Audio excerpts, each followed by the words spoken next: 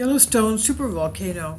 Is steamboat geyser activity a sign of magma building up there?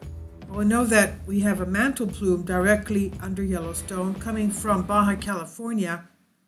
It goes through the eastern branch of it, goes through the uh, area of Utah, where we've had the recent 5.7 magnitude earthquake, and we still have earthquake swarms going on there.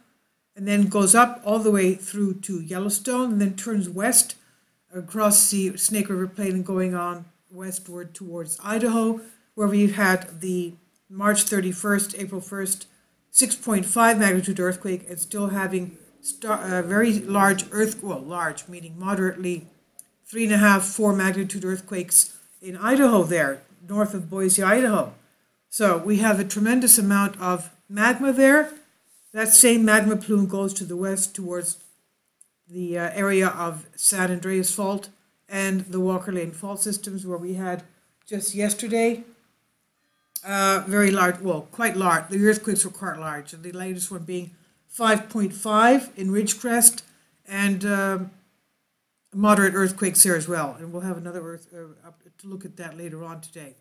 But what is going on here in uh, this steamboat geyser activity? The observers revealed the steamboat geyser is in a largely active period, separate to its local peers, leading scientists to question whether the magma is building beneath the surface of this massive supervolcano. We know Yellowstone is the second largest supervolcano on Earth. There's about 20 in total. And Yellowstone uh, has about 60% of the world's geysers. Now, the Steamboat Geyser, which is the world's largest, it's about 300 feet high when it erupts, has at points been spewing hot steam 300 feet into the air since 2018. But Steamboat runs at its own rhythm in the Norris Geyser Basin, unlike Old Faithful, which is in the upper and Pork Chop geysers, which are linked. And um, Old Faithful is in the upper geyser basin. Geysers like Old Faithful and Steamboat erupt whenever water and steam get trapped in a tight spot below the uh, geyser's blowhole. A mix of water and steam builds up in pressure until it finds its way to the surface where a tall steam of scorching hot water blasts hundreds of feet into the sky. But why Steamboat runs at its own pace in the Norris Geyser Basin is a bit of an enigma, and scientists are questioning whether it has an indication of a buildup of magma deep beneath the surface. Well, that's uh, it's not. Well, the, we know that the magma chamber is only about three to six miles below the surface. If you're standing over an area, for example, around uh, Old Faithful, where we, where we have a lot of uh, hotel and a lot of it's a tourist attraction, Three miles down, you have the roof of the magma chamber. Now, Yellowstone is packed with geological wonders such as geysers, hot springs, fumaroles, mud pots, geothermal pools. The activity beneath the surface leads to ground deformation, where the surface rises and falls accordingly. The Norris Geyser Basin has been underground deformation, undergoing deformation for 20 years. That's where Steamboat is. Yet Steamboat is the only geyser which seems to respond to the subsurface activity. Steamboat has erupted 79 times as of May 20th since late 2018, and accordingly to, according to the study published in the Journal of Geophysical Research, solid Earth corresponds with ground deformation. Charles Wicks of the U.S. Geological Survey, USGS, said Yellowstone's roots seem to extend all the way to the core mantle boundary in that dimension, it's a magmatic system of continental scale. Mike Poland, the scientist in charge of USGS, Yellowstone Volcano Observatory, said, Why would just a single geyser respond to processes beneath Norris Geyser Basin? Wouldn't that impact all the geysers? So why is it seeming to uh, seemingly uh, uh, uh, affecting only the uh, Steamboat geyser? One explanation is that Steamboat has a more complex, deeper system which may be connected to the deepest chambers of Yellowstone, but the Yellowstone scientists state that more and continuous observations are needed to unravel this true mystery. Why is it it only affects Steamboat and not the others in that uh, Norris Geyser Basin?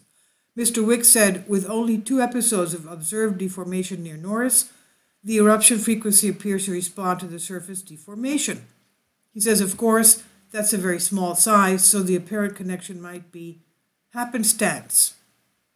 Continuous monitoring of volatile flux rates are really needed, he says, to put the geophysical models in context. If surface inflation is caused by the accumulation of pressurized fluids and deflation occurs when those fluids escape to the surface, we might be able to detect changes in volatile flux over time. And now we know that Yellowstone supervolcano in uh, northwest Wyoming and Montana and Idaho last erupted on a super eruption scale 640,000 years ago. According to USGS, the chances of a Yellowstone eruption is about 1 in 730,000 every year. With 640,000 years passed since the last major super eruption, Yellowstone is edging closer to exploding, but it could still be thousands of years away.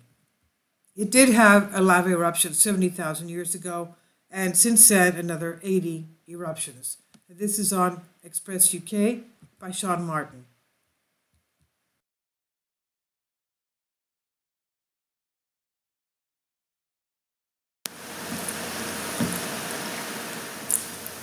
If you'd like to join me on my Patreon account, you will hear content not covered by mainstream media. These riveting stories will be based on my research, and I will state my opinions and give my personal insight on diverse and controversial subjects and world events, events not covered by mainstream media, and not certainly on not supported by YouTube guidelines. So whatever I have on my Patreon, most of those will not be on my YouTube channel. Please consider becoming a member today. More of the, the most significant and important videos will be on my Patreon channel. Your support helps me to continue my research and keeps this YouTube channel alive. And we depend on your support, your generous charity, because we help economically challenged families here in Athens, Greece, in Kapota, and we also help the young generation with university tuition and the community around our church. Thank you.